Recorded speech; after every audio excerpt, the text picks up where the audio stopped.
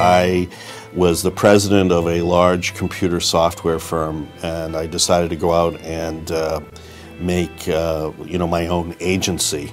And I thought that I would do financial services, healthcare, and high tech.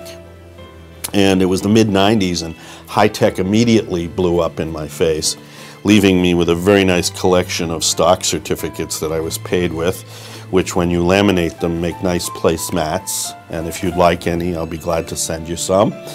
Uh, and healthcare, it turns out, uh, there really are only two sectors chiropractors and plastic surgeons that believe in or do any marketing. The rest of the healthcare industry thinks that if you're sick, you will go see them. And I dare say they're right.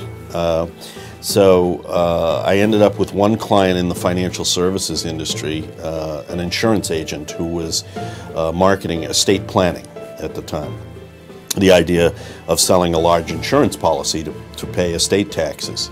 And uh, through him, uh, I met, I started to meet a bunch of lawyers who were doing estate planning because he spoke at conferences and he was very generous about handing out my cards.